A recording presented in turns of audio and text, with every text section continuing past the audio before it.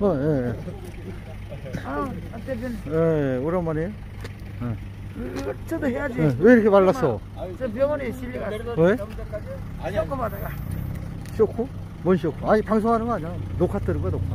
쇼크 쇼크 받아가지고 어, 병원에 입원했어. 누가? 제가 병원에 입원해가지고 어제 오전에 왔어요. 누가 오메를 해? 오메를 사람이 누가 있어? 있습니다. 네, 저, 저 내내 예, 예, 고맙습니다. 수고하십시오. 예, 감사합니다. 예. 어, 그래요? 어. 해요. 아니, 아니, 나 커피 됐어. 요새 커피 한잔 안 잤었네. 어, 아니, 아니, 마스크 썼으니까 조심하려고. 오래 살아야 되니까. 음. 아, 그날 바- 내가 바- 여기 밤에 왔었는데 안 계시래? 안돼 그런데 병원에 갔습니다. 병원에 갔었구나. 난 몰랐지 또. 아, 여기서 주무시는 거야?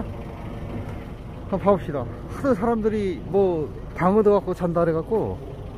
그럼 나 어? 거짓말이고 오면 거짓, 그러니까. 아, 시청자 여러분. 예, 지금은 오면입니다. 녹화입니다, 녹화. 깔고. 예, 박정수 대장이 예. 예, 여기서 예, 잠을 자고 있습니다. 예, 이차 안에서.